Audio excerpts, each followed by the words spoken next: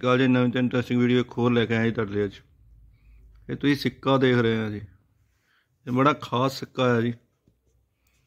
ਪੰਜ ਦਸ ਦਾ ਤੁਸੀਂ ਸਿੱਕਾ ਦੇਖਿਆ ਹੋਗਾ ਇਹ 20 ਰੁਪਏ ਦਾ ਸਿੱਕਾ ਹੈ ਜੀ, ਜੋ ਭਾਰਤ ਸਰਕਾਰ ਵੱਲੋਂ ਜਾਰੀ ਕੀਤਾ ਗਿਆ ਜੀ। ਰੁਪਏ ਸਿੱਕਾ ਤਾਂ ਆਮ ਮਿਲ ਜਾਂਦਾ ਜੀ, ਪਰ 20 ਰੁਪਏ ਦਾ ਸਿੱਕਾ ਜਿਹੜਾ ਹੈ ਜੀ, ਇਹ ਬਹੁਤ ਘੱਟ ਰੇਅਰ ਮਿਲਦਾ ਹੈ ਜੀ ਮਾਰਕੀਟ ਦੇ ਵਿੱਚ ਵੀ।